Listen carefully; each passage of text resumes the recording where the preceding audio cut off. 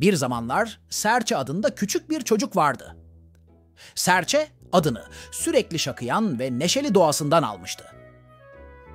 Gözleri her zaman merakla parlar, etrafındaki dünyayı keşfetmeye bayılırdı.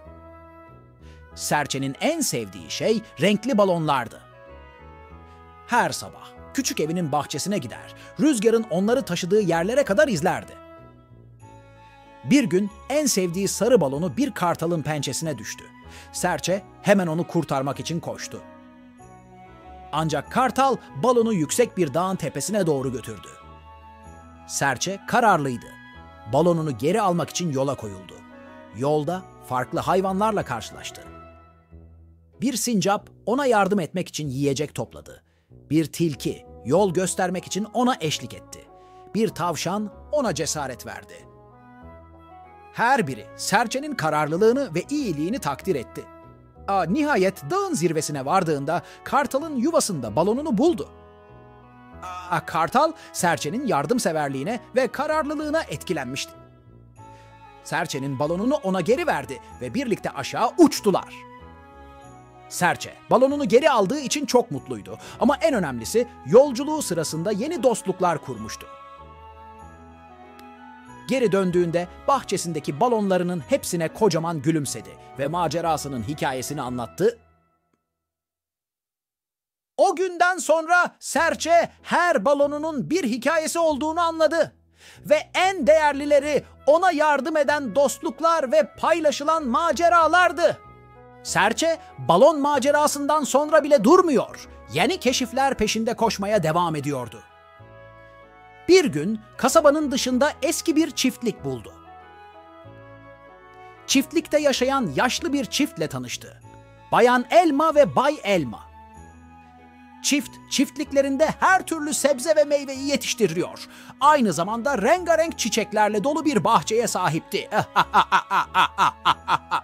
Bayan Elma ve Bay Elma, Serçe'yi sıcak bir şekilde karşıladılar ve ona çiftliklerini gösterdiler. Serçe, onların bilgelik dolu hikayelerini dinledi ve birlikte bahçede vakit geçirdi.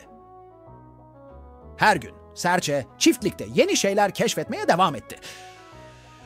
Farklı meyve ve sebzelerin tadına baktı.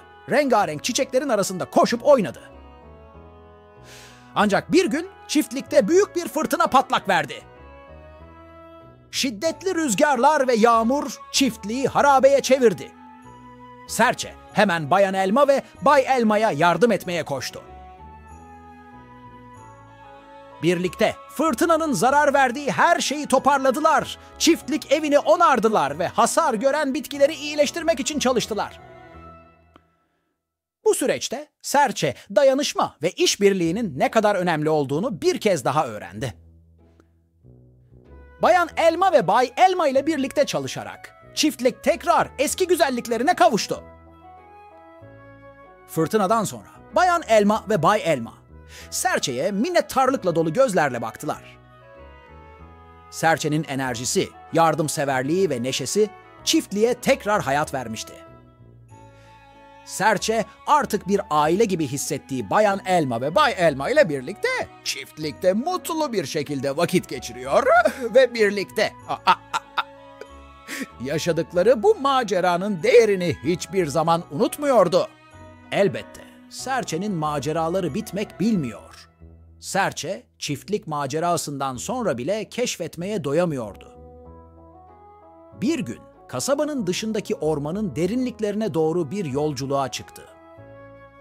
Ormanın içinde yemyeşil ağaçlar, rengarenk çiçekler ve cıvıl cıvıl kuşlar vardı. Serçe ormanda dolaşırken bir grup kayıp hayvanla karşılaştı. Bir tavşan, bir sincap bir kirpi ve bir tilki kaybolmuşlardı ve nasıl eve döneceklerini bilmiyorlardı. Serçe hemen onlara yardım etmeye karar verdi.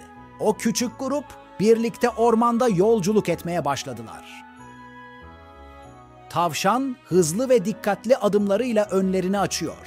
Sincap ağaçların arasında rotayı belirliyor. Kirpi toprağın altındaki izleri takip ediyor ve tilki keskin gözleriyle tehlikeleri önceden fark ediyordu. Yolda birçok zorlukla karşılaştılar. Derin bir nehir, dik bir tepe, karanlık bir mağara. Ancak Serçe ve arkadaşları birlikte çalışarak ve birbirlerine destek olarak her zorluğun üstesinden geldiler. Sonunda kaybolmuş hayvanlar evlerine geri döndüler. Onları bulan serçeye minnettarlıkla baktılar. Her biri serçenin yardımseverliğini ve kararlılığını takdir etti. Ormanın derinliklerinde geçirdikleri bu maçlardan sonra serçe arkadaşlarına veda etti ve kasabaya döndü. Kalbinde birlikte yaşadıkları bu macerayla ilgili birçok özel an vardı. Serçe artık kasabada bir kahraman olarak değil, sadece bir çocuk olarak yaşamaya devam etti. Tügamaksta! Ancak içindeki macera ruhu hiç sönmüyordu ve her günün bir keşif ve öğrenme fırsatı olduğunu biliyordu.